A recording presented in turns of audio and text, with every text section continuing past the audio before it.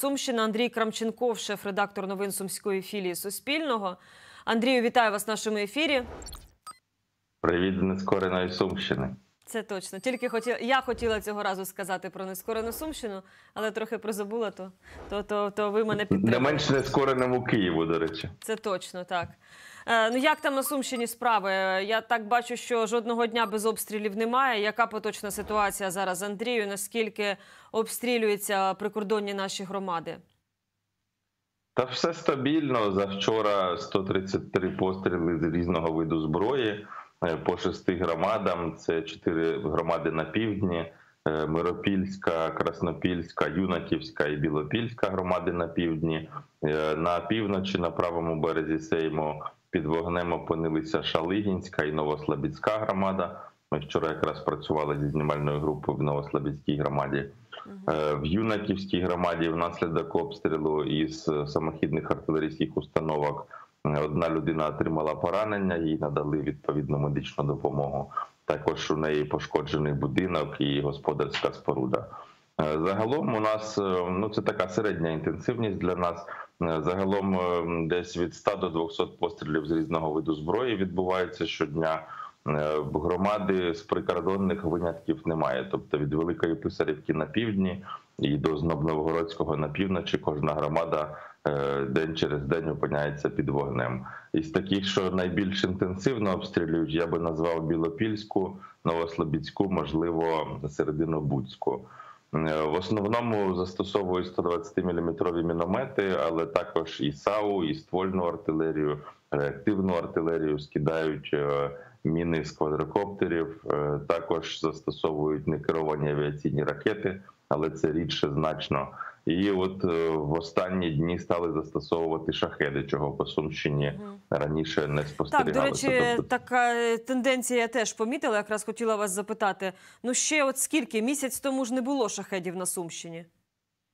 Останній раз був десь приблизно місяці два тому. Шахедами ударили по школі в Білопільській громаді. Здається, я мені вже зараз може пам'ять мене підводити. Але нещодавно вдарили трьома одразу по Миропільській громаді, влучили чомусь в продуктовий магазин. Не знаю, яку там вони військову ціль шукали.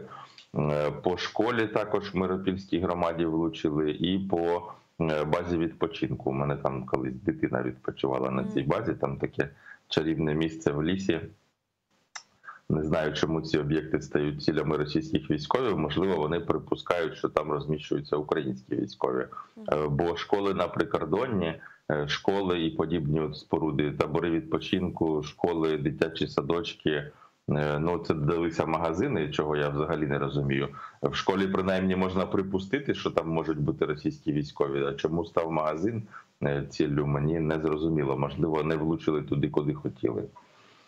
Що стосується ситуації в енергетиці, то у нас все стабільно. Зараз немає аварійних чи віялових відключень, але внаслідок обстрілів станом на вчора півтори тисячі абонентів залишалися без електроенергії через те, що просто обстрілами обриваються проводи лінії електропостачання. Але Укренерго, обленерго постійно займаються відновленням цих речей. Якоїсь такої організованої евакуації з прикордоння не відбувається, проте транспорт ходить і приватний, і комунальний, і можна ним евакуюватися, якщо є така потреба. Андрій, Але ну от ви коли говоримо... їздили на прикордоння, ви ж спілкувалися з місцевими. Вони як виїжджають, не виїжджають? Ну вже скільки часу пройшло? Вони розуміють, що ситуація не змінюється. Щодня фактично може ну... на голову прилетіти. Що кажуть люди? У мене таке враження, що всі, хто хотів виїхати, вже виїхали, а дехто навіть вже і повернувся назад. Коли задаєш людям запитання, чому ви не їдете, тут вже постійно гупає, то дуже часто відповідають, що ми звідси не поїдемо. Це наша земля. Ще така розповсюджена відповідь: нам немає куди і немає за що їхати.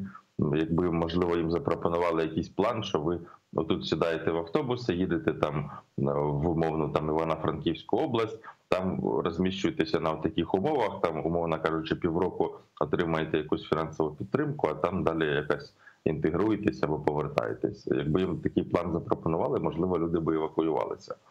Ну і ще така розповсюджена відповідь на питання, чому ви не, не їдете звідси. Е, Люди відповідають: у нас тут господарство. Ми тут е, будували десятками років свої будинки, надбавали е, все це господарство. Не хочемо його кидати невідомо на кого. То люди не хочуть полишати те, що вони мають. Чекайте, Андрію, така плана чому немає? Немає у влади місцевої, немає такого там номеру телефону, куди можна подзвонити, там роз'яснять, розкажуть, і щоб у людини завжди не був можу варіант, відповісти куди на ваше запитання.